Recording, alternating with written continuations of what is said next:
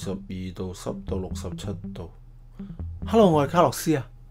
有睇過過年前嗰集嘅朋友呢，就知道我手上呢個係利用 DHT 十一同埋 Note MCU 製造出嚟嘅一個温濕度傳感器。老實講，呢、這個只不過係一個教學實驗嚟嘅，因為將呢個嘢放喺窗台，用途仲差過個廿蚊淘翻嚟嘅温度計啊！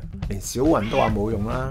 但係唔好忘記喺節目最後呢，我教咗大家翻閱翻我之前嘅節目，尤其是睇翻 Brink 運用嗰幾集，因為只要將 Brink 同呢個温度傳感器結合呢，就會有好多用途噶啦。冇錯嘅，大家可以睇翻卡洛斯嘅 Arduino 編程同埋應用嘅系列，裏邊呢，而家已經有成十幾集噶啦。咁當中呢，有幾集呢係特別關於物聯網嘅應用嘅，而喺系列六同埋系列七裏邊呢，我都曾經提過有一個 A.P.P 呢叫做 Brink。我哋嚟睇下 Blink 究竟係咩嚟嘅啦？Blink 咧就係一個 IoT platform，非常容易使用嘅。嗱，佢講到明啦，Build your first IoT apps in five minutes，五分鐘就可以做出嚟。咁咧，佢嘅要求咧就係你有一部 smartphone 啦，或者係 Android 或者係 iOS，而你有 IoT hardware，咁即係頭先我哋所教過用緊 Note MCU 咯。另外咧，你要有 Internet connection。即係話，而家你身處呢個房咧，都有 WiFi 或者網絡嘅。咁佢要求你做咩咧？先係下載咗你嘅 Blink Apps 啦，跟住喺 Note MCU 度 install 個 Blink Library 啦，跟住接駁硬件，跟住就可以控制噶啦。我哋而家模擬一次安裝先啦，大家可以照咁樣安裝，安裝完之後就開啟佢。第一次進入 Blink 嘅時候咧，大家應該見到呢個畫面嘅。嗱，點解嚟到呢一刻咧，我會提醒大家咧去睇翻 Blink 呢個 APP 啦。因為大家睇翻呢幾集咧，我主要咧都係教大家咧，我點樣利用 Blink 咧喺室內或者室外咧控制屋企嘅電器啊，例如着一眼燈或者着一把風扇咁樣嘅。但係之後我又拍咗幾集有關 OK Google 嘅使用啦，咁大家可能會覺得用 Google Assistant 控制屋企嘅電器仲方便啲啦，係咪？但今日嘅做法唔同啦，今日我係想同大家分享咧點樣用 Blink 倒翻轉頭接收屋企嘅資訊，例如知道屋企嘅溫度同埋濕度係點咯。咁你估有咩作用咧？好簡單啫，隻貓貓屋企啊，如果熱得滯或者凍得滯，冇錯，我係可以製造一啲自動裝置，直頭自動控制室內嘅溫度。但係既然我都可以用 OK Google，我點解唔自己監察屋企嘅溫度濕度，自己人手控制屋企嘅冷氣機或者暖爐呢？冇錯啦，就基於咁嘅處境，所以有今日嘅講解啦。好啦，點樣安裝 Blink 咧？大家可以睇翻系列六。而家我要教大家咧，就點樣喺 Blink 寫出呢個畫面啊！嗱，其實就非常簡單嘅，大家先開個 new 嘅 project，跟住咧為佢改名叫做溫度濕度計咁啦。之後就係揀 devices 啦。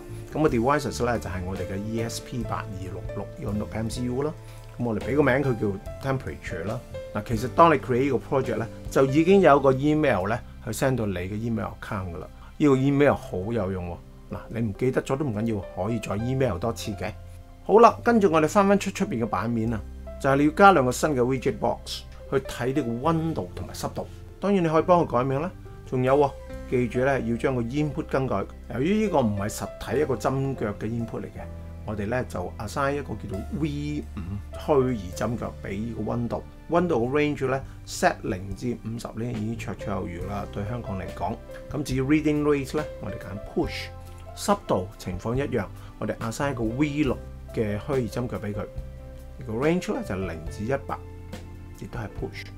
至於下面咧，你可以自己加啲圖表都得嘅。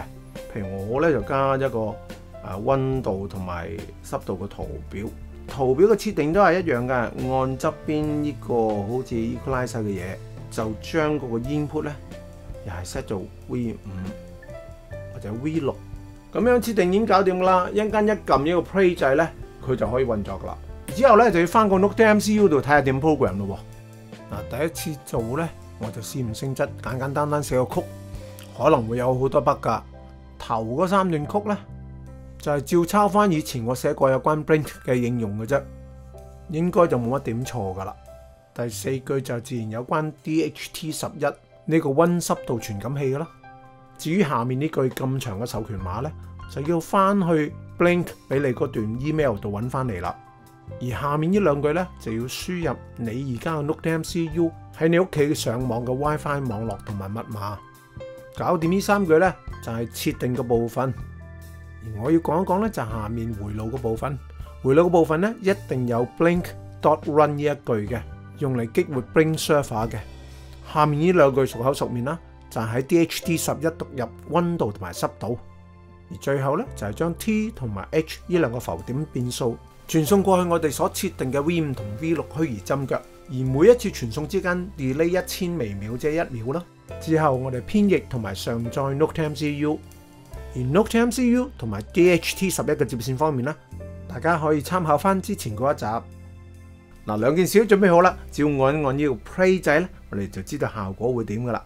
嗱，表面睇到咧就正常嘅，溫度同埋濕度亦都係會變化，但係有陣時資料會清零，